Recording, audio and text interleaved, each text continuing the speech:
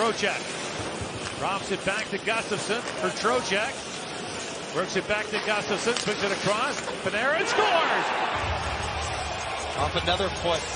Not banked off a foot. It was going up 18 inches wide of the net. Is that Liljegren?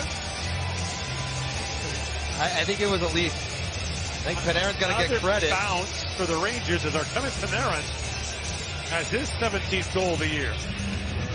This is kind of night it's been for Martin Jones, who's played really well. Yep. Lagesson. Lagesson's game. It's a piece, and I guess you put enough pucks, that good things are going to happen, but that is a very fortunate bounce. Artemi Panarin keeps piling up the points on the power play, and the first two goal lead of the game goes to the Rangers.